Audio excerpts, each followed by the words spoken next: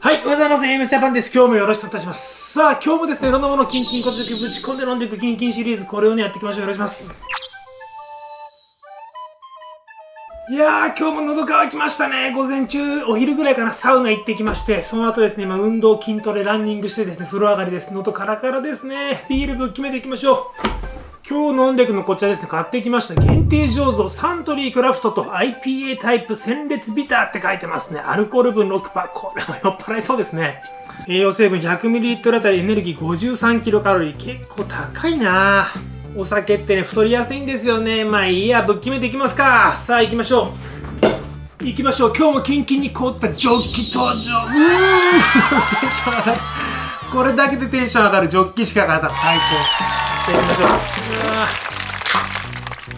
うわうー喉乾いたうわ色濃いめ。うんいいですね。なるほど。喉カラカラや。ジョッキキンキンや。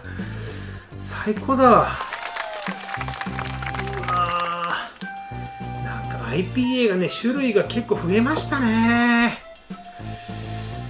いやー今日のやつも楽しみですね。よいしょ。匂い。ん？そこまでって感じかな？どうかな？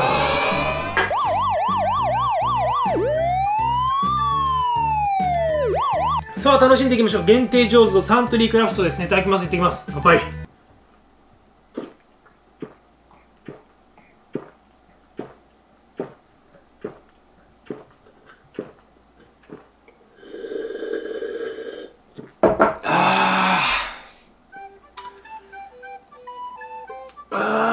うまい飲み応えあるな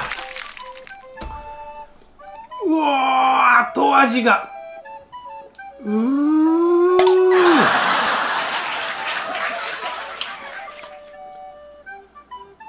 あはい、お疲れ様でした。ガブ飲みしちゃいました。今日のやつですね、初めて飲んだんですけど、これ今日のやつも飲んでよかったなって、そんなビールですね。匂いはそんなにきつくないんですけど飲み応えはすごいあってあと飲み終わった後ですねこれもだいぶ遅れてねなんか重いずっしりですね IPA 独特の苦みがずわーっとこうくるって感じでしたかね。すごかったですね。